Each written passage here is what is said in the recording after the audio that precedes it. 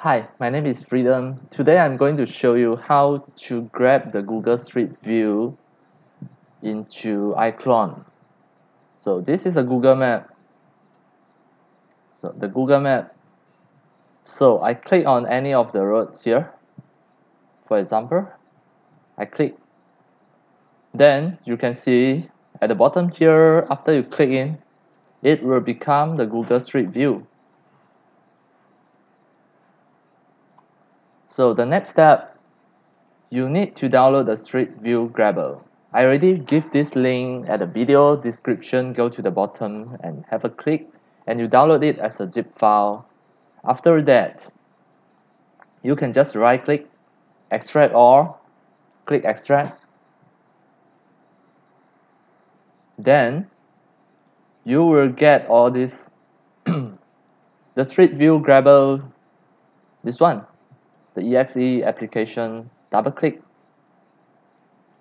The next step, untick the crop panorama, you need to untick it, then add panel, wait. Before you add panel, you need to go to your street view, copy the link, Control C to copy, then you click add panel. Do you want to import the URL from the clipboard? You click yes after that click grab. Now you can see here it will appear an output folder. Your street view is here already. It will download it as a HDRI image. Next step you go to your iClone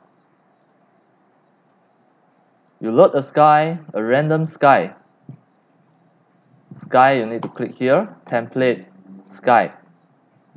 Now I just drag in a random sky. Now it will load as the sky.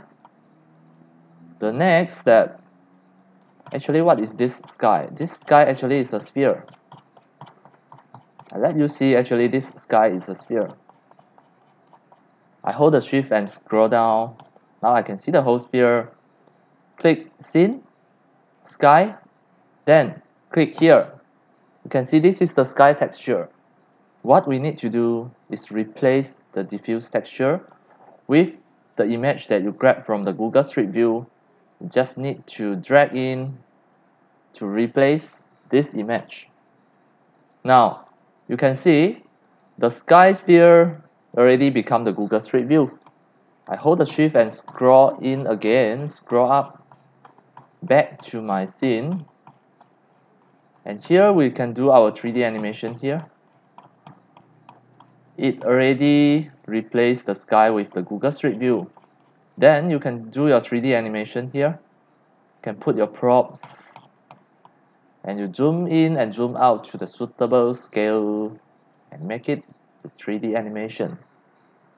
And that's that is how can we grab the Google Street View into iClone 3D animation by just replace the sky texture.